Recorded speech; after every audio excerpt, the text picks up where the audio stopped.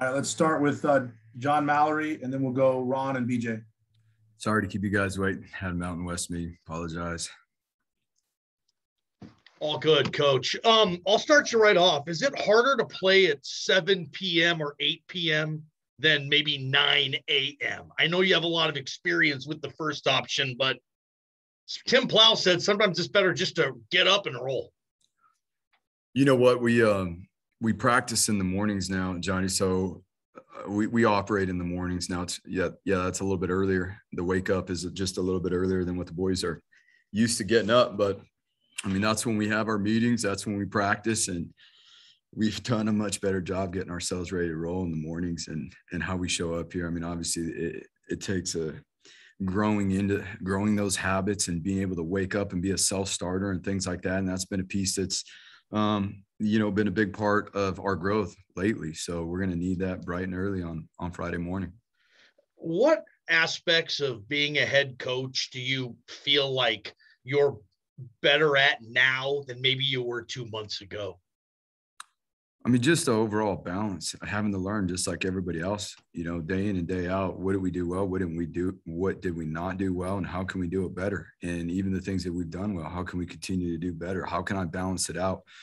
What areas can I help? What what support do I need to um, do a better job of? You know, the organization, if that's what it is, the motivation, if that's what it is.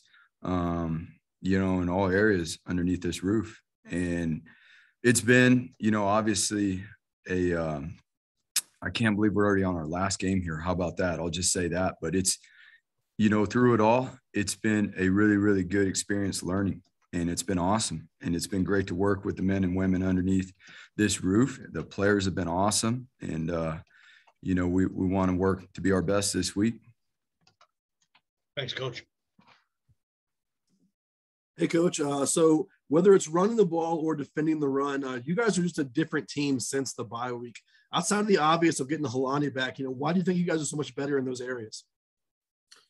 Well, um, just we've committed ourselves to doing certain things, you know, in terms of Johnny's question too, just the commitment starting from the, you know, everybody underneath this roof that this is football and it's a physical game. And how are we going to do that? What's everybody's responsibility that goes into that?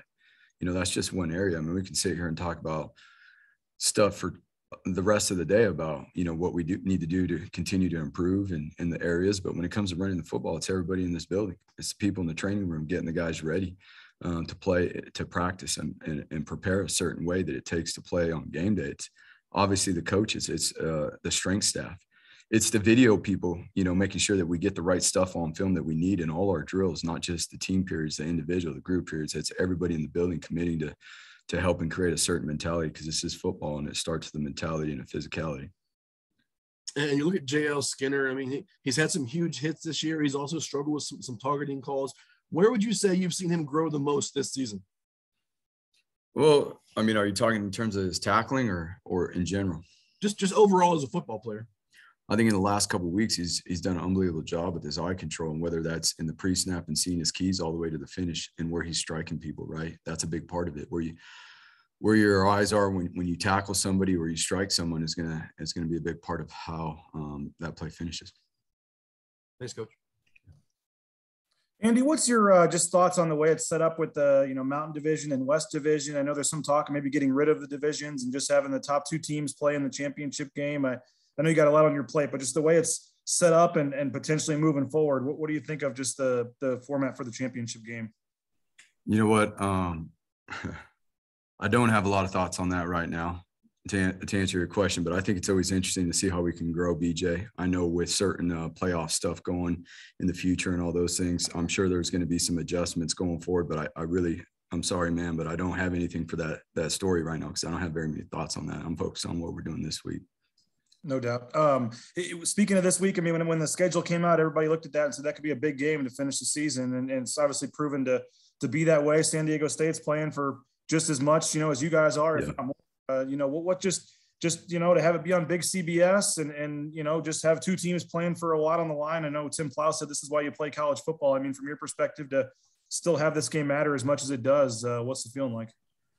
Yeah. I mean, it's like he said, this is why we do it, you know, and, um, it's not only a huge uh, opportunity for both teams for it to be the last game of the season and, and there be a lot of things on the line, you know, that, that, um, you know, are going to happen bright and early on, on Friday morning, the day after Thanksgiving. On top of that, right? We were all kids one day and loved playing football on Thanksgiving and running around in the park in the street. Now we get to do it on that type of stage. And I think that's pretty special and how we work and how we prepare um, should represent that. And really that's the focus of, of what we're doing. And that's how I answered your previous question that way, because we're not worried about anything else but that right now and enjoying this process of what we dreamed about to do since we were kids and what we would mimic in the streets and then go inside and watch whatever our favorite rivalry game was on TV. We're not morning people, Andy Media. You guys may be ready for 9 a.m., but maybe you got some tips. We'll have some coffee for you. Come on over to the hotel where we're staying, man. We got you. Extra strong. Let you get some of that uh, fuel that the coaches are going to be hitting in the morning. Come on, man. That sounds good. Thank you. Let's go, Bob, and then Jay. Coach, uh, when you look at uh, the three three five that we saw last week with New Mexico, and then this week at San Diego State, how much better is this group going to be when you factor in the they've run it a lot longer and the talent that they have out there? Where is where is this group going to be better than New Mexico? Well, um, you know, Danny's uh, rebuilding that program at New Mexico, and and utmost respect for him, you know, and the coaches there and what they're doing. Um, but he's they're in the phase of rebuilding it, and um, you know, obviously Rocky was at San Diego State and what they built there and how competitive they are year in and year out.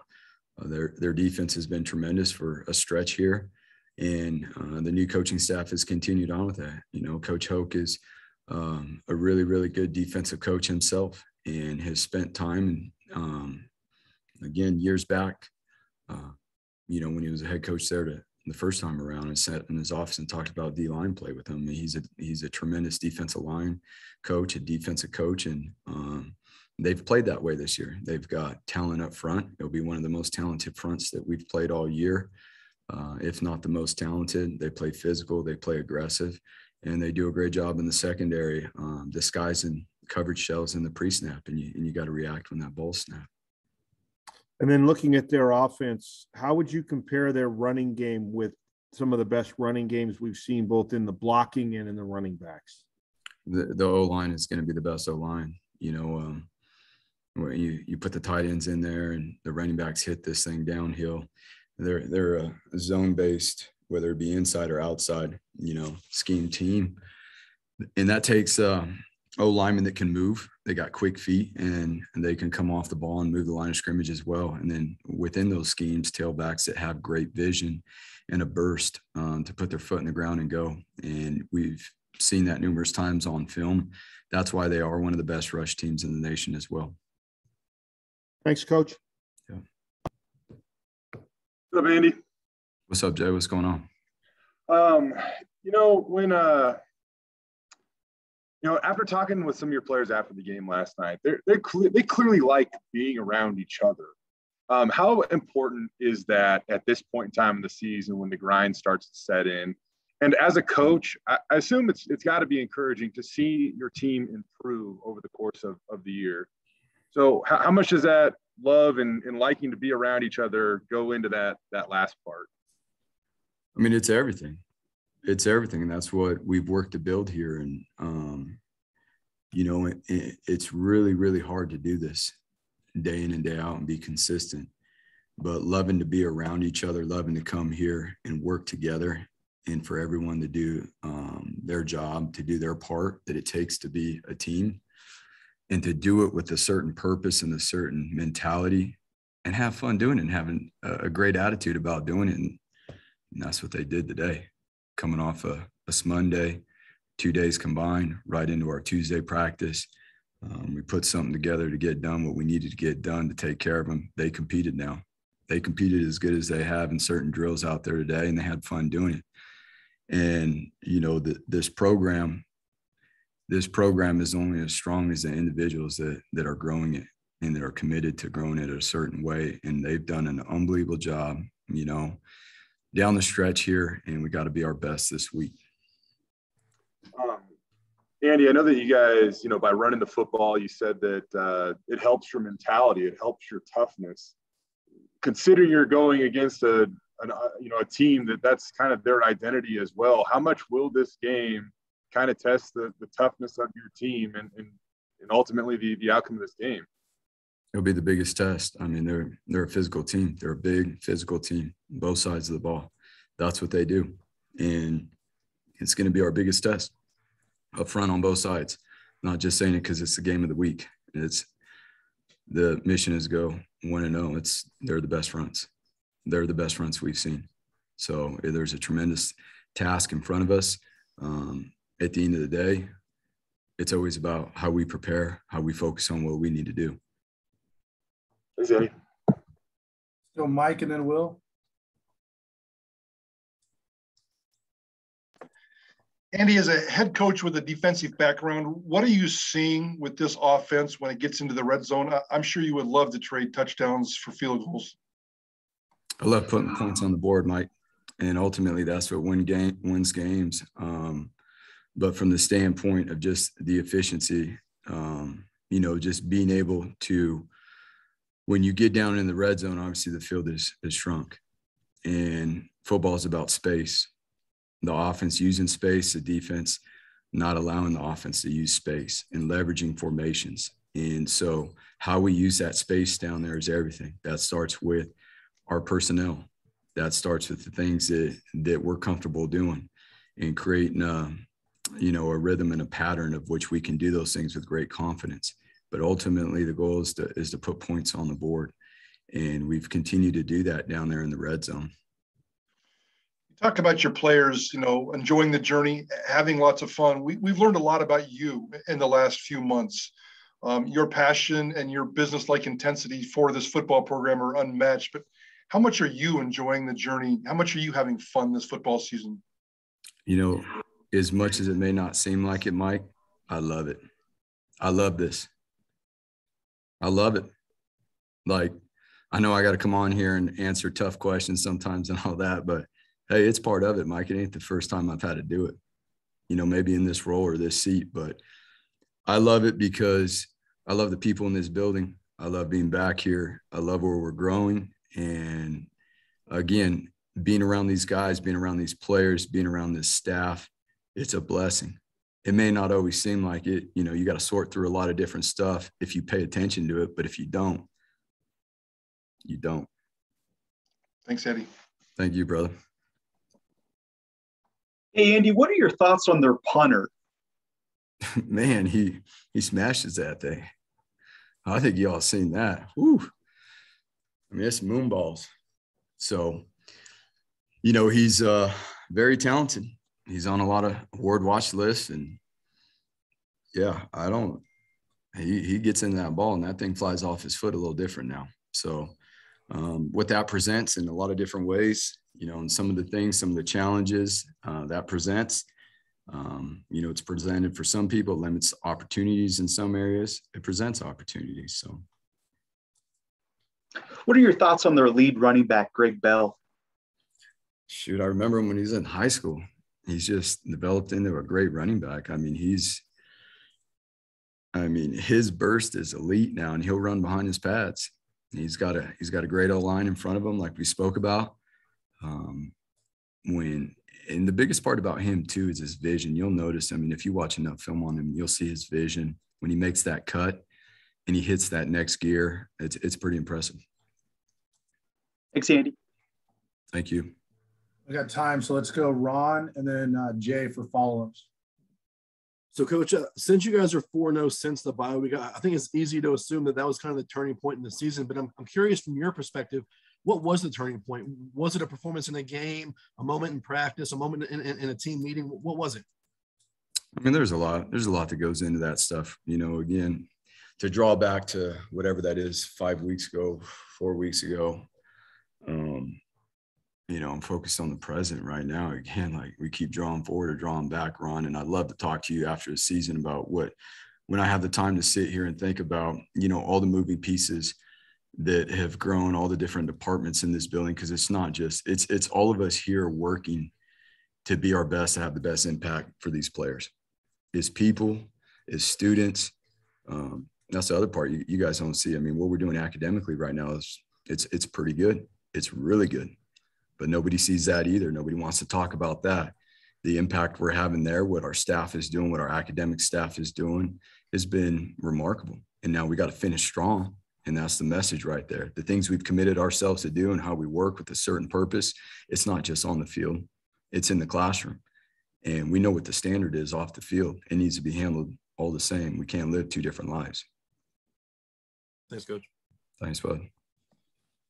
Uh, it's a simple one. I asked your, your coordinators this too, but um, hey, th- Thanksgiving right around the corner. What are you What are you thankful for? Oh, there's so much. There is so much to be thankful for, but health, number one. You know, always, always. Uh, you know, you, you, I think people take that for granted, and and they let the small things in a certain day um, turn their their day upside down when there's so many things to be grateful for that can be a lot worse and and and dampen a day. And I know we all have people that uh, you know whether it be in our families or friends that um, you know are battling through things health wise. And the reason why I'm thankful for that because in a lot of instances we can't do anything for those people. And so always thankful for when people are healthy, both mentally and physically. And um, you know, thankful for my family at home and more my family here. And we get to spend this Thanksgiving with both of them. So it's going to be, it's going to be an awesome Thanksgiving. I appreciate you too, Jay. I'm thankful for you. Thank you, Andy. Thank you. Let's go to BJ for the last question. Kind of on the same line, Coach. Um, I don't know if you've ever been to the Cathedral, the Rockies uh, thing on, on, you know, you guys are going to go on Wednesday for the Thanksgiving uh, you know, feed the the homeless. Yes. I don't know if you've been there before, but just to have your younger guys and some of your players be a part of that and kind of remember, you know, what, what Thanksgiving is for and, and how lucky that, you know, what some of the things you guys have are. What's what's that experience going to be like for your players and for you?